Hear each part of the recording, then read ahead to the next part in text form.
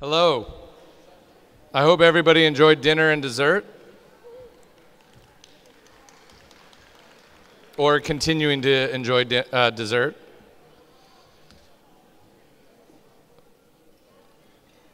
As a former LBCC student athlete, head coach, and now current director of athletics, it is truly an honor to be connected to the great history of our institution in this ceremony.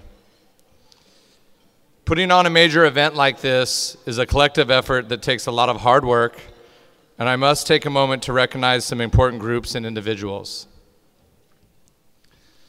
First, I would like to ask everyone who helped plan, coordinate, and set up for this event to please stand and be recognized.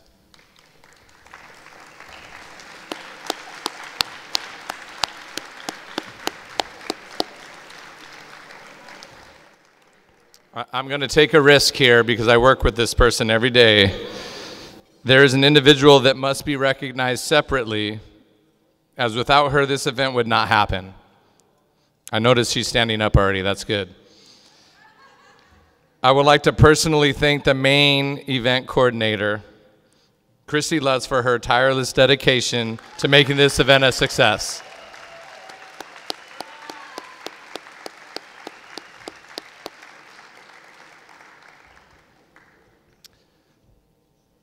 When thinking about this event, uh, it struck me that there's just a lot of great history here, and I thought it'd be kind of cool as a tribute of our shared history.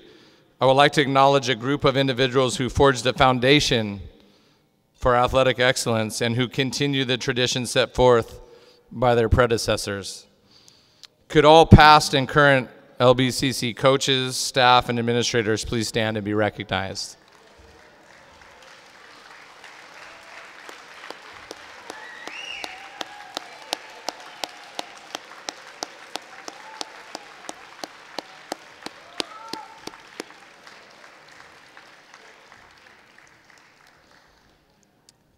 Finally, I would like any past Hall of Champion inductees in attendance to please stand and be recognized.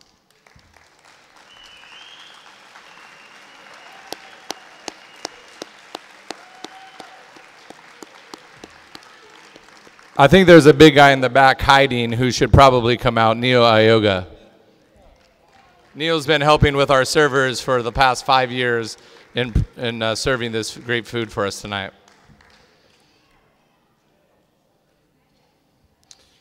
We have some special guests with us tonight who I would like to introduce individually.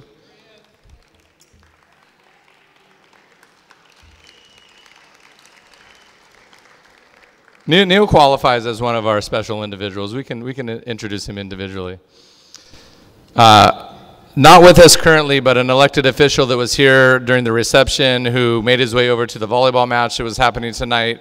Uh, Vice President of the Board of Trustees, Jeff Kellogg, was here in, in representation.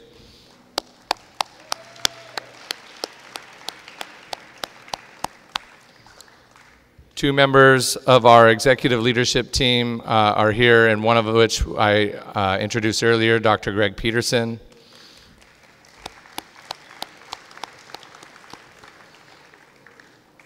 Our executive director of the foundation, Elizabeth McCann.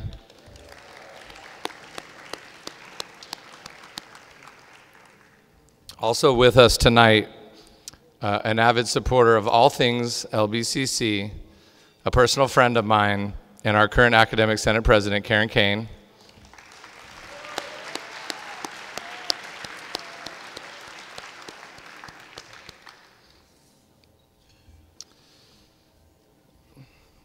The Viking family lost a pillar recently, and I would like to take a moment to honor him.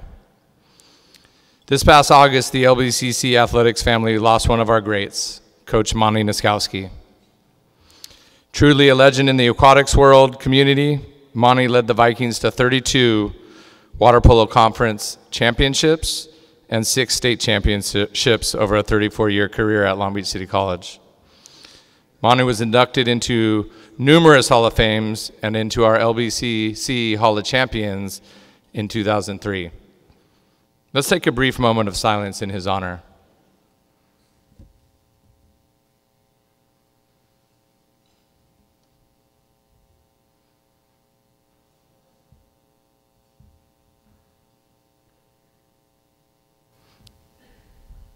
Thank you.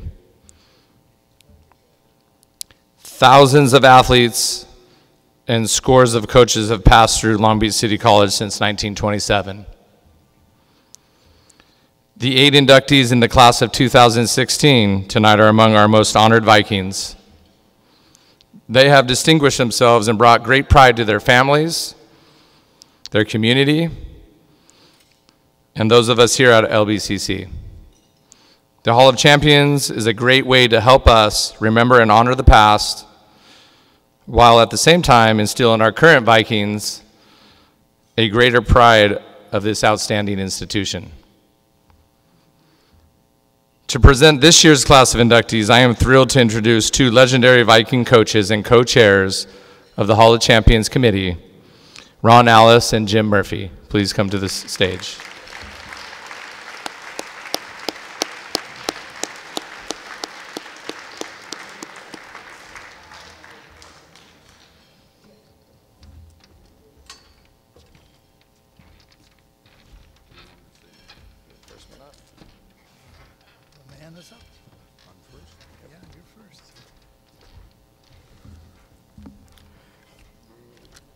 First of all, uh, I'm very honored to have the opportunity to introduce some people here tonight that I, that have uh, established such uh, tremendous impact on, on the history of the sport that I love so much, and that being track and field. The first honoree is Brian Bridgewater. Okay? He's here at Long Beach City College in 89 and, and 90. Well, let's say what distinguishes him from some of the others.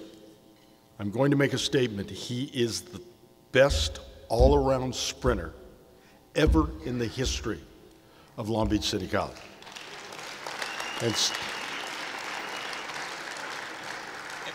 And since track was initiated in 1928, that's pretty significant. Okay? Um, he's a very quiet spoken young man. Came out of LA Washington High School, and he always performed at the highest level when it counted. The records, and all you have to do if you look in your program, are unbelievable, and they still stand to this day.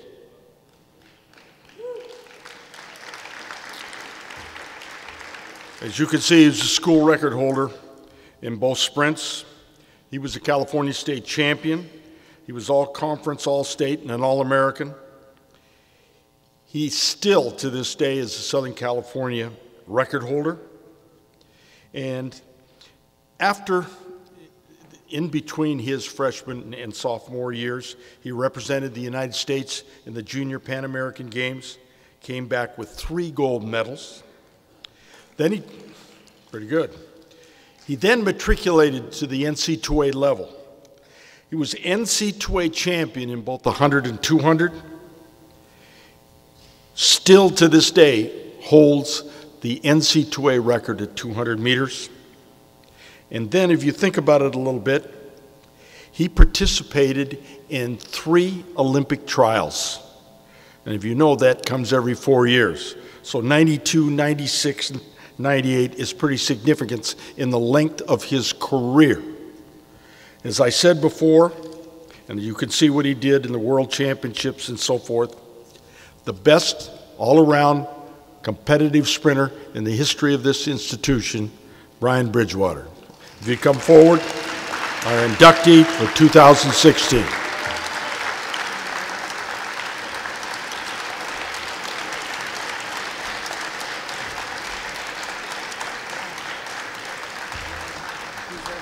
We have a representative of uh, the uh, track and field program here at Long Beach City College, Raymond Lewis. He went to Paramount High School and uh, currently going through an education to be a registered nurse, and he's chaperoning and bringing up each one of our recipients. I give you again Brian Bridgewater.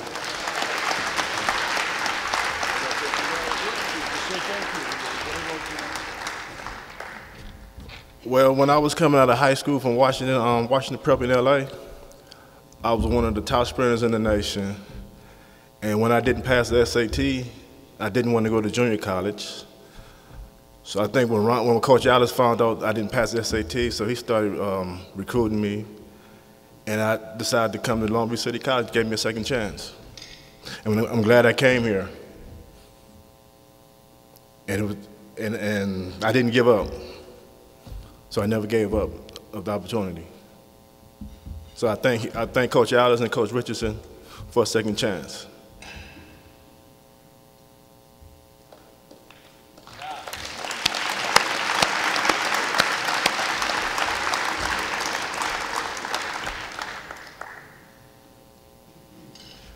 Uh, thank you.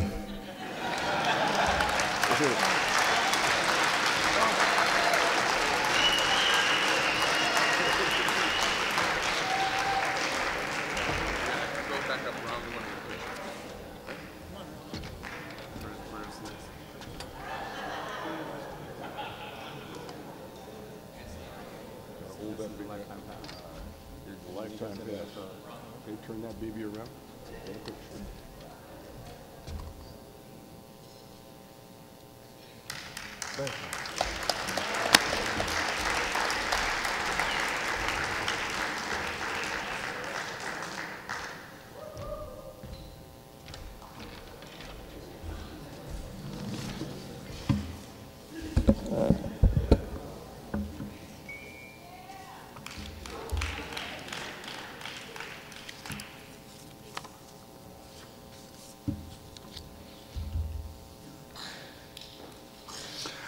Um, My name's Jim Murphy, and I've been around here since 1960 as a player, athlete, and uh, I've been part of the football staff, and was a wrestling coach here, and it's my greatest honor tonight to honor these inductees.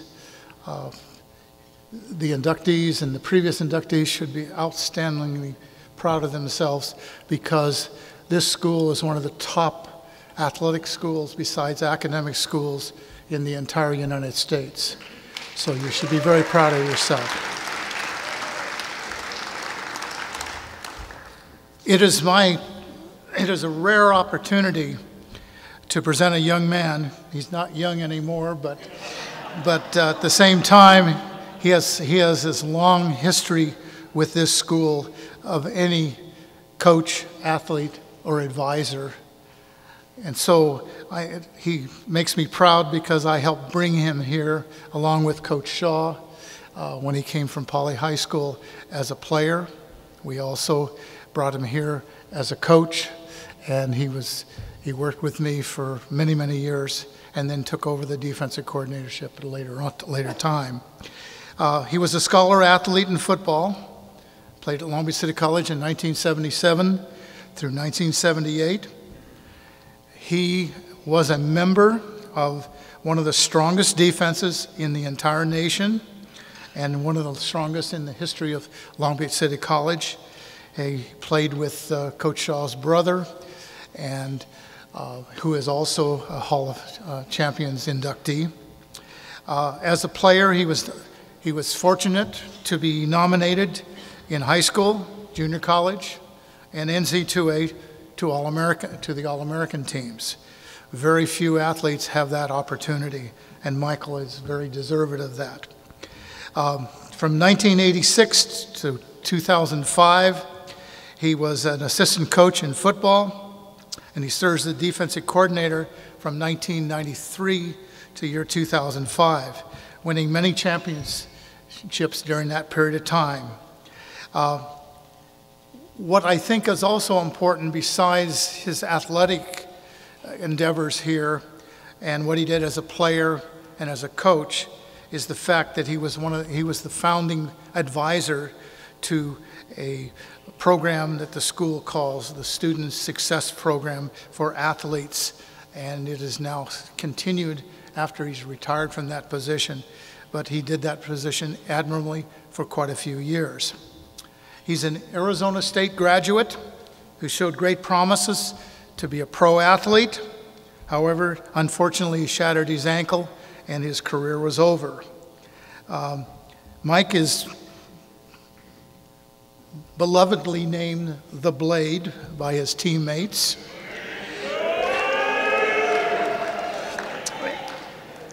And for his prowess as a hitter, as a player, he's probably one of 12 players in the history of Long Beach City College that the football program inducts, uh, not annually, but rarely. He's a member of what we call the Hitters Hall of Fame. And he was, when, they, when he hit somebody, they stayed down and such. Um, I think this when I think of Mike. I think great athlete, great coach, great scholar, and a great student athlete advisor, and most importantly, an outstanding person. And I think that's the biggest thing in life as you can go down and you go to your grave, you think about how outstanding that person was as a human being, and Mike is one of the best.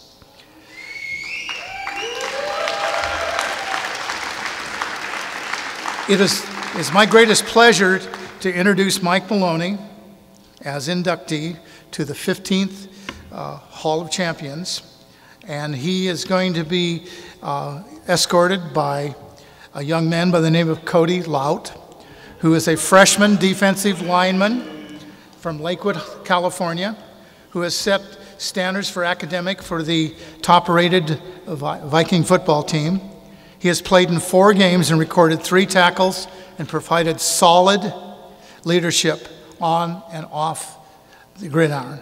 Now I present to you Mike Maloney. Thank you so much. You. Absolutely. Always, Michael. Always.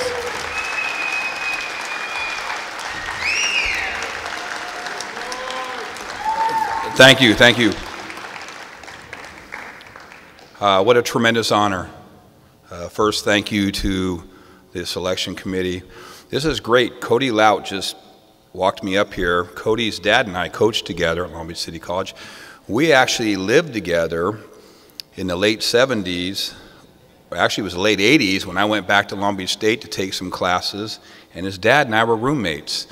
So he's, I have never met him before today, I've, I've, but his dad and I are very close. So thank you so much, Cody.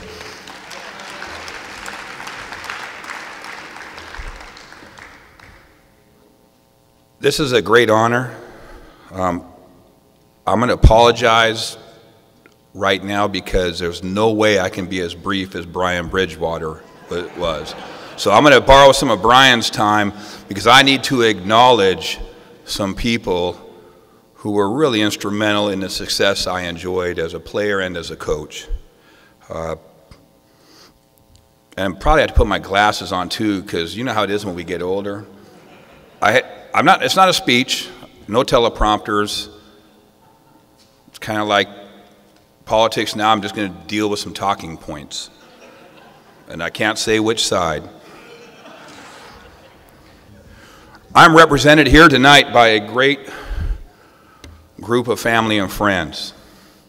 At table number 10, my mother, mom, raise your hand, Carol Maloney, my ex-wife, Patricia, my daughter, Candace Maloney, her husband, Stephen, my best friend forever since the fifth grade, I mean, since kindergarten. We were five years old, John Dameron, his wife, Doreen, my sister, Pamela.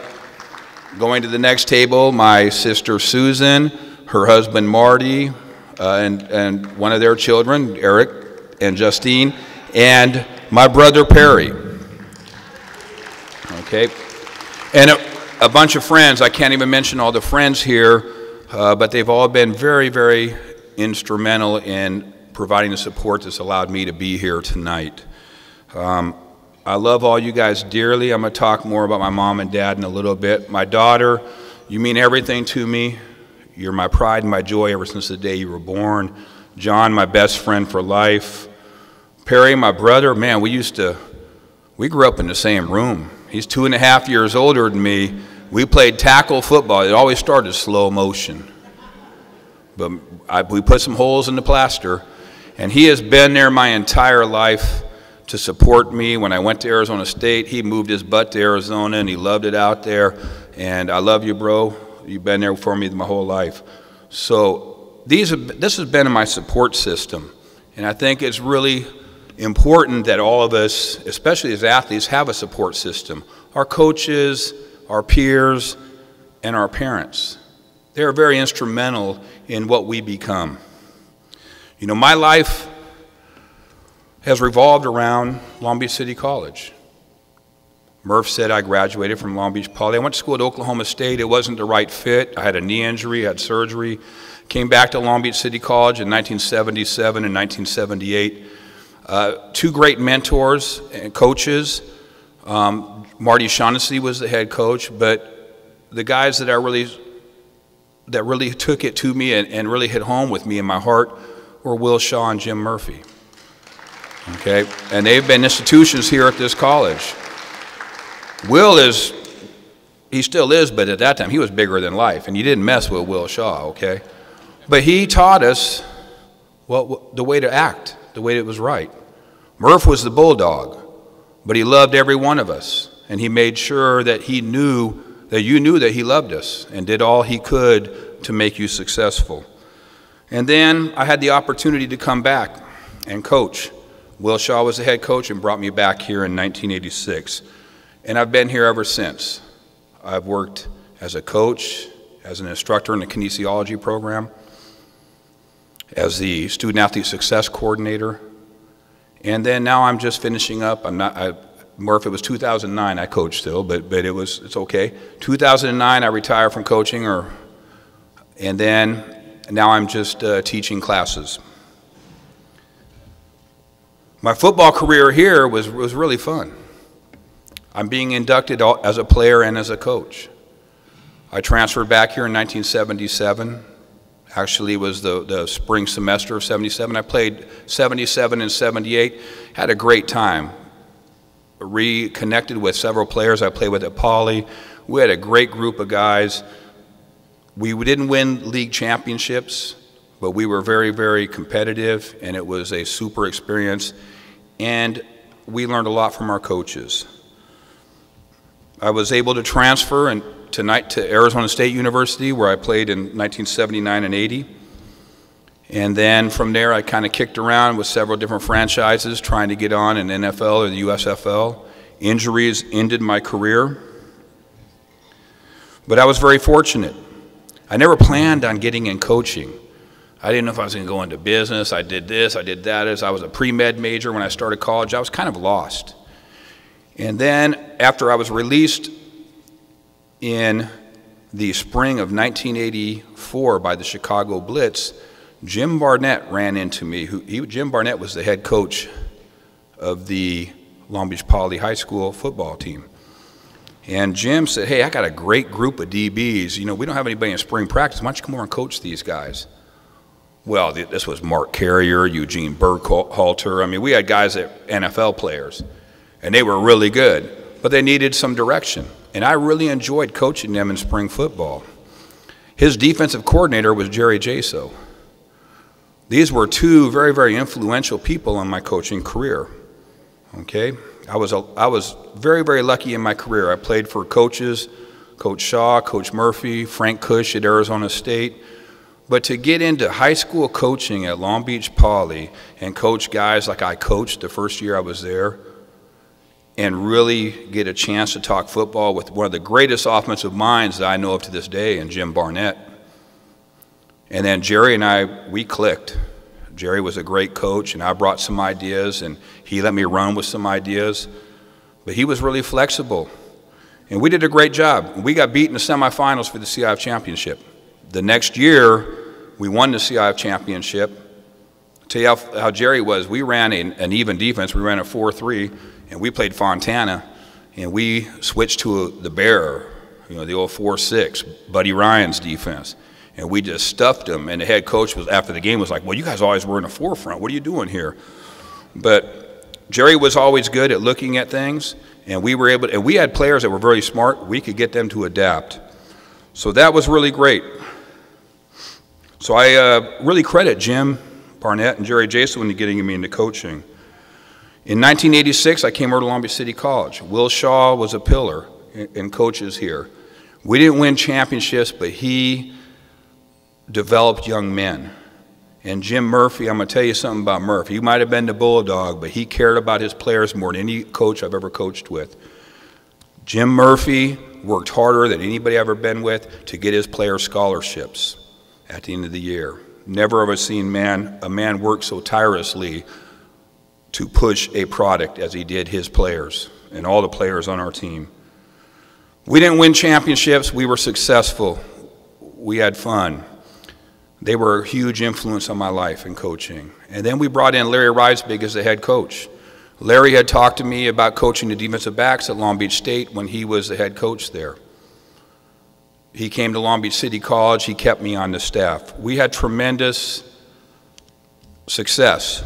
Through the 90s, as everyone knows, we won countless conference championships, a national championship. Larry was a huge influence on me. Larry taught me how to organize practice and get the most out of every single minute of your practice. After Larry stepped down, we brought Jerry Jaso back in. And we had a, a, an incredible time when Jerry was a coach, one championship or two then. So, as you can see, coaches have been very important in my life. My friends have been very important. But probably the two most important people in my life were my parents. My mom, who is here with me today, and my father, who I wish were here. He's in very poor health and could not be here tonight.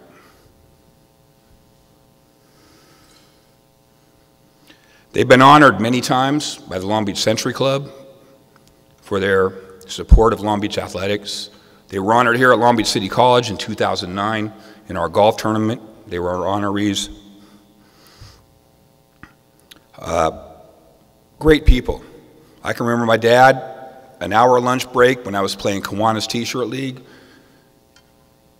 and I'd see his truck sitting out in the outfield at Hamilton Bowl, him eating lunch and trying to catch a part of my game.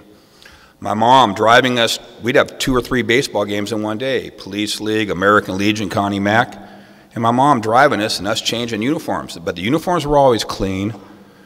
My dad always made sure, even if he had to paint on the side, that we had cleats on our feet and brand new gloves in baseball. I really wish my father was here.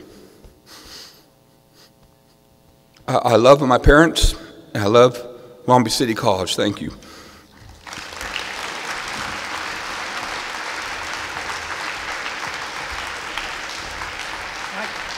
Michael.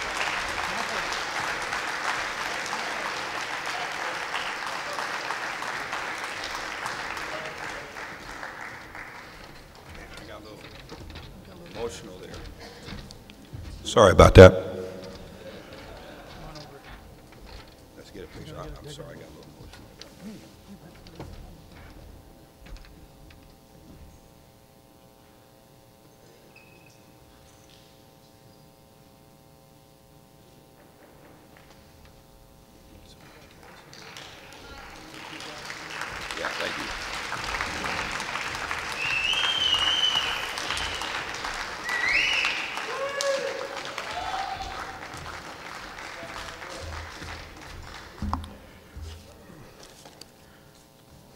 As you can see, the meaning of what this is, and an institution that's had so much impact on the lives of so many. And I'm about to introduce somebody who uh, is very, very special, like all of the inductees tonight. But um, before I get started, I'm going to have him stand up and, and come over here and stand. So, Francis O'Neill, Hall of Fame inductee for 2016, come on over here and let me give you some insight into this young man. Um, first of all, um, he probably is, and I made some comments about uh, Bridgewater being who he has as his impact on the sport. This young man um, was a 409 miler in high school, and um, he didn't know where he was going to go to school. Um, this table right here is responsible for my recruiting prowess. If it weren't for that table, his best friend, I recruited his best friend and his mother. That's how Francis ended up at Long Beach City College. Came from San Pasqual High School in San Diego. And uh, he came to Long Beach City College because running was a sidelight. He'd rather surf and he'd rather play volleyball. And he wasn't going to find that in some other places. So that helped started something. With him coming, others followed. He was the guy that Pied Piped and brought some unbelievable talent into the distance corps here at Long Beach City College. His brother also came too and ran here in 94. He went from being a miler in high school to being one of America's best steeplechasers. I'm going to read, and I hope you two look at your program, what he ran while he was here. Okay, uh, he's a school record holder in three events 1500 meters, 345, that's just over four minutes for a mile, okay, equivalency. Also has a 3,000 meter record at 817.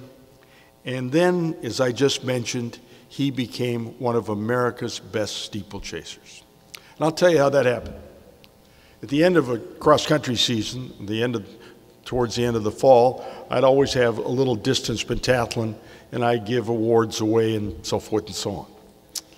And um, we were running this steeple, and I only run a mile when they normally run 3,000 meters constantly on the roads when we go on road runs, he was always jumping over fire hydrants, anything, bushes, whatever it was. He enjoyed that. Running was fun. And as a result, um, we were running this little one mile steeple, never ran it in his life. He came by where I was giving time splits and he tripped went head over heels, rolled right back up into a stride, and kept going. At the conclusion of that, I told him, I have a new event for you.